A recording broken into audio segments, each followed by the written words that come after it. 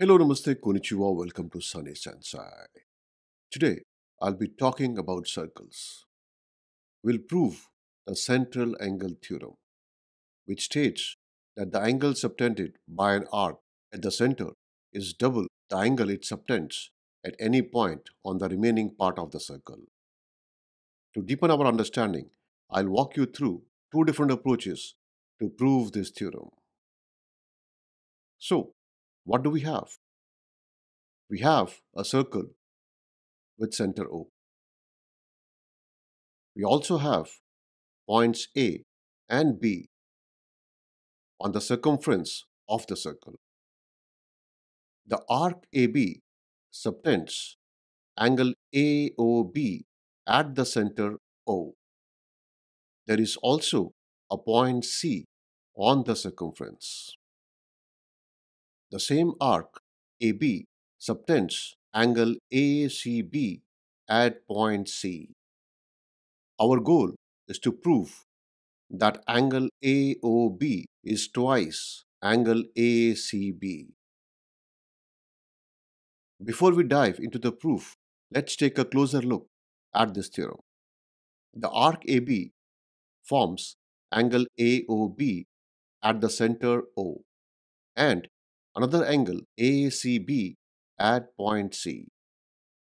According to the central angle theorem, if angle ACB is theta, then angle AOB will be 2 times theta. This holds for any point on the circle, as long as this point is not on arc AB. Now, let's choose another point C1. The angle subtended by arc AB at point C1 will also be theta.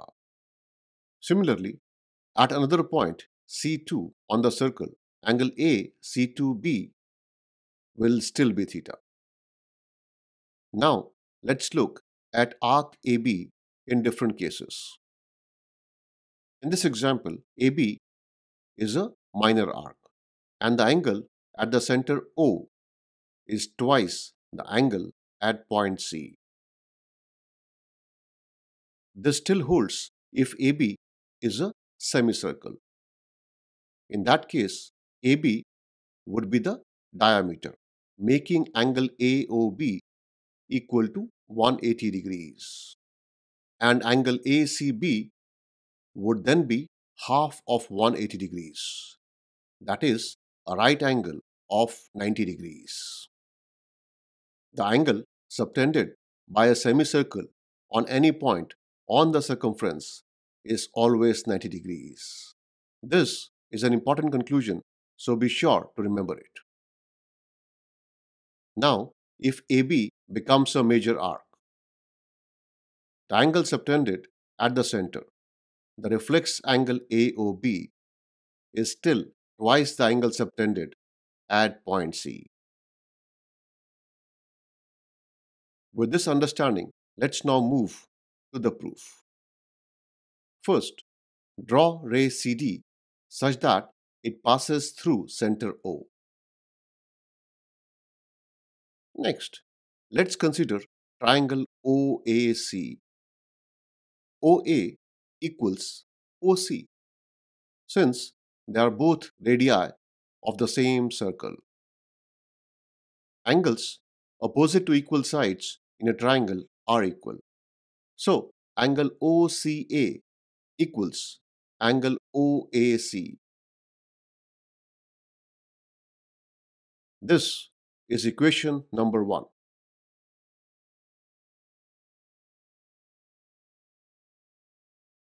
Looking further into this triangle OAC, angle AOD is an external angle. For any triangle, the external angle equals the sum of the two non-adjacent interior angles.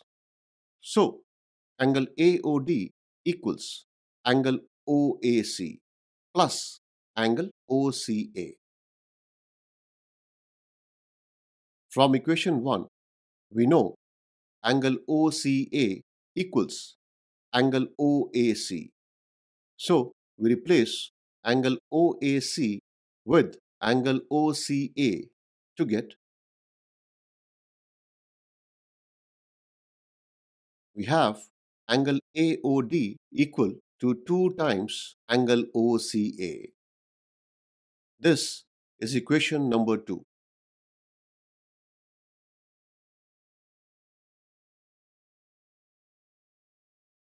Similarly, for triangle OBC, angle BOD equals 2 times angle OCB. This is equation number 3.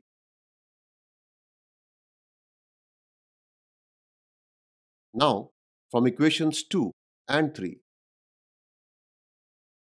we add these two equations to get angle AOD plus angle BOD equals 2 times angle OCA plus 2 times angle OCB.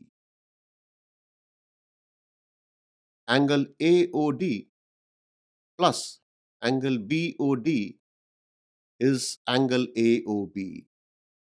This gives us angle AOB equal to 2 times sum of angles OCA and OCB. Angle OCA plus angle OCB is angle ACB. So we have angle AOB equal to 2 times angle ACB. This completes our first proof of the central angle theorem. Moving to second approach, we again start with a circle with center O. Arc AB subtends angle AOB at center O and angle ACB at point C on the circumference. For the proof, we connect point C to point O. Now, for triangle OAC, OA equals OC. Both are radii of the same circle. Angles opposite to equal sides in a triangle are equal. So, angle OCA is equal to angle OAC. This is equation number 1.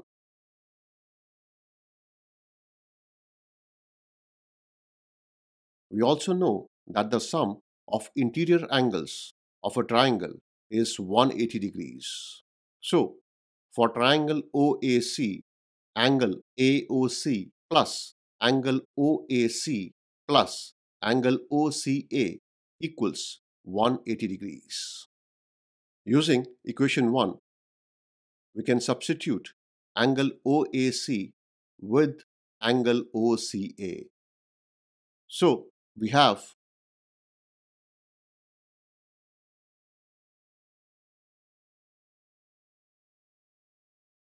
angle AOC plus 2 times angle OCA equals 180 degrees or angle AOC equals 180 degrees minus 2 times angle OCA.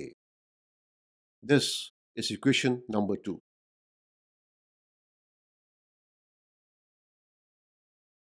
Similarly, for triangle OBC, we can prove that angle BOC equals 180 degrees minus 2 times angle OCB. This is equation number 3.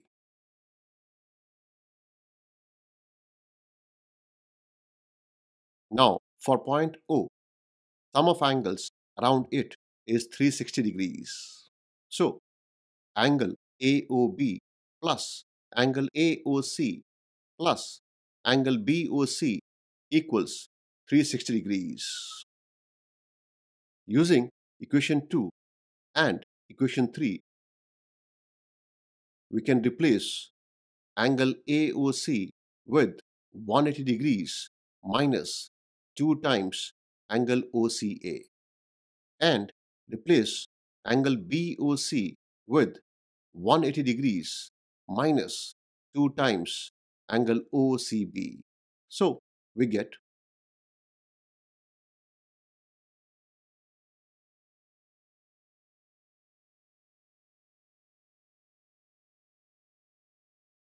solving further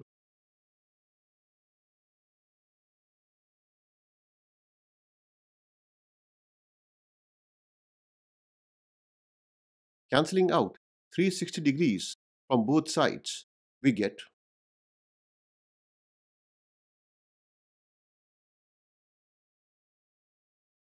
angle OCA plus angle OCB is angle ACB. This gives us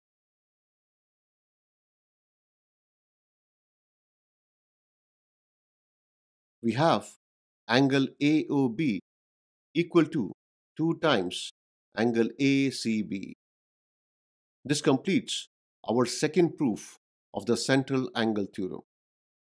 The angle subtended by an arc at the center is double the angle subtended by it at any point on the remaining part of the circle. If you found this lesson useful, please like, share and subscribe to Sunny Sensei. Drop a comment with questions or thoughts. I would love to hear from you. Thanks for watching and I will see you again soon.